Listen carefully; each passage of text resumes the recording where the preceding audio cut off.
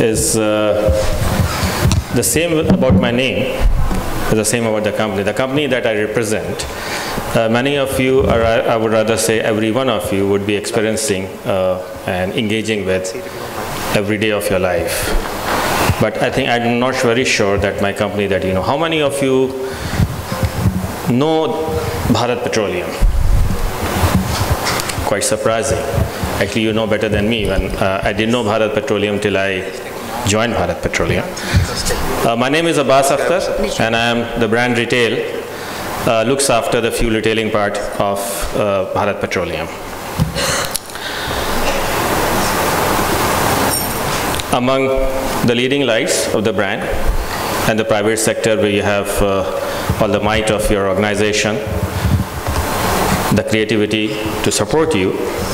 I represent a PSU who has to deliver, but at the same time uh, follow and to align, uh, which uh, puts lots of constraint.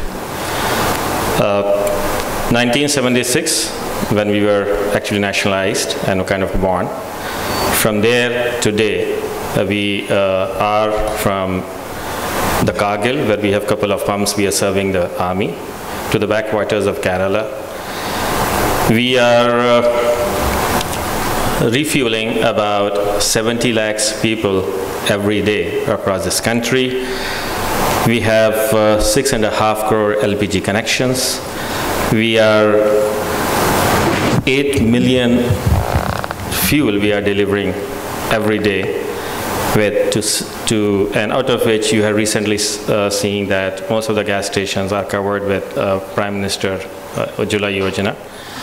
Three crores uh, such connections that we have recently released and we are targeting to complete it to 8 crores. So that's the expanse we are working with.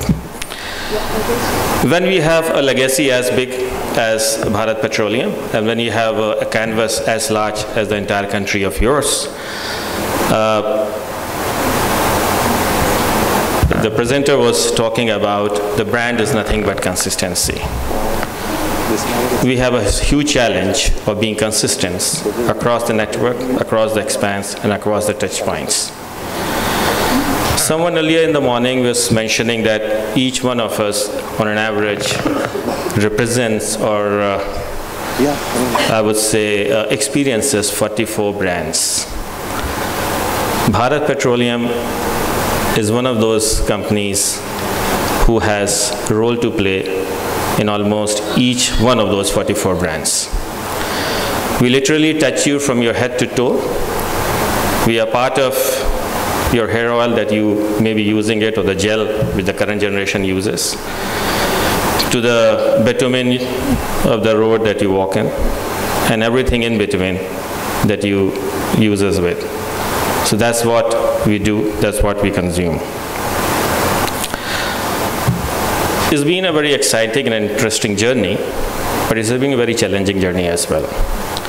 When you have a canvas of this nature coming primarily to my part, which is the retail fueling, we have more than 14,500 fuel stations.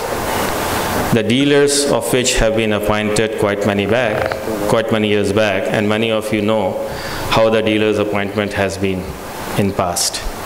And therefore, therefore, we have a legacy and we have some kind of constraint. How do we actually deliver an experience to a customer who actually doesn't want to deal with us despite the fact his life depends upon me? You drive car every day, but you don't want to stop at gas station. You cook every day, you don't want to call a gas agency to book a call. You fly every, whenever you fly in an airline, you don't want to have a, a stopover for a fueling stop because that will delay you by an hour. We are selling all those kind of product which is actually enabling you and helping you. But at the same time, we are also selling those kind of product we don't want to deal with I don't want to spend time with. I have a consumer who is extremely impatient. I have a consumer who is in a hurry. I have a consumer who doesn't trust me much, but he doesn't see my product as well. But he is a consumer. He would actually buy it, but won't appreciate me. I'm not sure whether you buy your fuel when you drive out by looking at the name of the company or you are buying a fuel because there's a gas station which falls en route to you or uh, nearest to you and is the least inconvenient. So what we did was, if I can't give you a product which is different, maybe we can give you something uh, a service differentiator we can create for you. And what we created was initially at a time when, the, when we were, people were struggling with the quality and quantity, we delivered a quality assurance. And we came with a brand, Pure for Sure. The Pure for Sure concept, we brought in an assurance of quality and quantity coupled with a service protocol at a time when the quality and the quantity were not trusted at all in this business. When it was copied by the competition, we came up with a service protocol altogether in which we have brought not only the quality and quantity assurance, we brought back a kind of service because this, there was in mid 90s urban class, urban middle class especially, was now getting tuned to, uh, they was used to a better service protocol consumers were demanding and they needed people that someone should treat them well at the forecourt and we brought uh, a concept we call platinum. If when we moved on from there and we, we found out how exactly you are doing it, uh, some of the consumers when we were working with our consultants what else we can do? We found out that normally if a consumer, if you buy a product, if you are made aware of a product, we spend about 17% of your time on average to consider why should buy this brand or why should you buy another brand. When we check with our consumers, how much time will you spend when you decide which fuel station or which company would buy the fuel from, we got a shocker of the life because the consumer says they don't people don't spend even a percent of their time thinking about from which gas station they are going to buy fuel from. Now, if that is the consumer I'm dealing with and I'm supplied to, what I'm going to do uh, to create or draw his attention towards my gas station. And therefore, we needed uh, we, we went from creating some kind of differentiator in terms of service protocol. You guys must also be thinking that was being a PSU, these guys, they keep changing the price every day. How much of this is taxes? How much is the margin? Nobody knows. Every day you go to a gas station and you find a new price. And what kind of competition they have. We have only uh, three companies and not much of a competition. So where exactly the brand comes in. And therefore, uh, what we did was, we said, okay, in urban we can't do much of a thing, but maybe in, in highways. In highways you would be noticing that there is not much of a constraint of setting up gas station. So the private sector started coming in. And what they did was that, okay, these guys can't sell a cheaper fuel, I can give a cheaper fuel. And the transport segment, which is uh, very price sensitive, they may not be interested in the quality of fuel, but they say, okay, fine, I may be securing some kind of profitability, I can do it for my segment. That was the challenge that we were heading to. And we started losing market share on highways, especially on diesel. Uh, I'm, I do not have much of a time to share this uh, story because I'm getting a signal from Vijay that cut it short. I'll just narrate a story, uh, uh, uh the kind of uh, activities that we actually we did to turn around this highway segment back to us in just one year. You would notice that the, these truck drivers, they are actually away from their home for more than 20 days on an average in a month. These guys are driven by their transporters to buy fuel from a company who gives them the lowest cost fuel.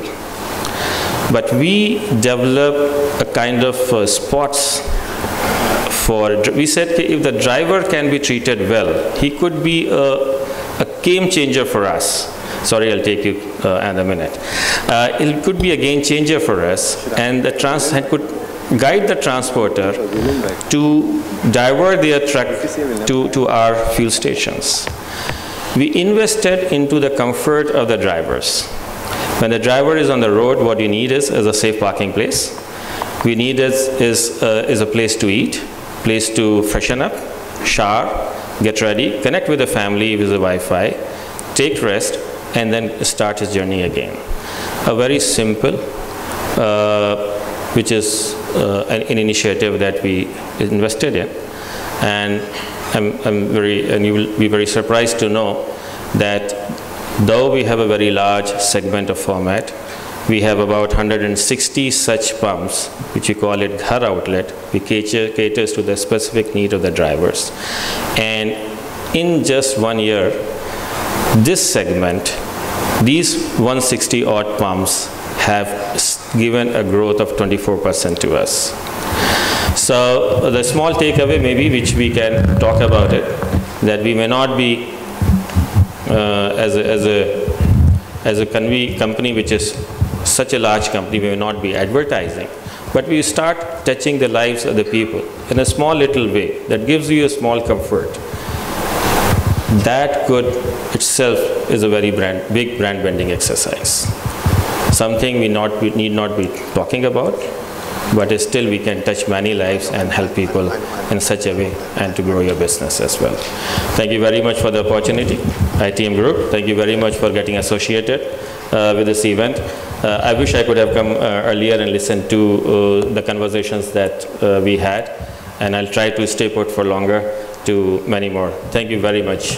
Thank you, Asha. Thanks a lot. Uh, Dr. Snigdha from ITM, can I please request you to present a little, a little thank you from all of us? And a beautiful picture, please. Photographer, please smile yourself. Thank you.